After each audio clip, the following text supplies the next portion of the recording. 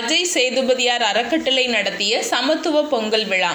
நெல்லை மாவட்டம் விக்ரமசிங்கபுரத்தில் சமத்துவ பொங்கல் விழா அஜய் சேதுபதியார் அறக்கட்டளையின் மூலம் சிறப்பாக நடைபெற்றது. அறங்காவலர் அஜய் படையப்பன் சேதுபதியார் தலைமையில் சுமார் பத்தாயிரம் ஏழை எளிய குடும்பங்களுக்கு இலவச வேஷ்டி சேலைகள் வழங்கினர்.